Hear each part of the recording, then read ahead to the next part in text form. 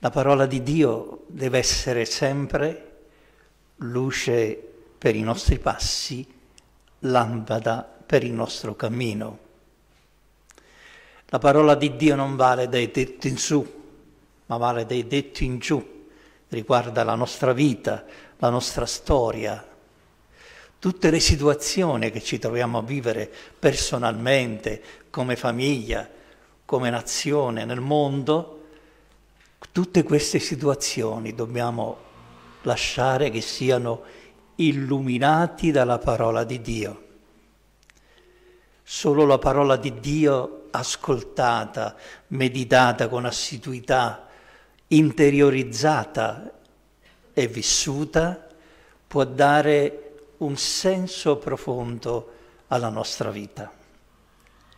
I santi sono coloro che hanno ascoltato la parola di Dio e hanno preso sul serio la parola di Dio, hanno vissuto la parola di Dio, perciò sono beati. Gesù dice nel Vangelo, beati coloro che ascoltano la parola di Dio e la mettono in pratica. Nella vita di Antonio, considerato il padre del monachesimo, nella vita di quest'uomo tutto cambia quando soprattutto si lascia travolgere, rivoltare, prende sul serio nella sua vita la parola di Dio, in particolare quelle parole che abbiamo ascoltato nel Vangelo questa sera, che Gesù dice a quel tale o un giovane ricco che queste parole cambiano completamente la sua vita.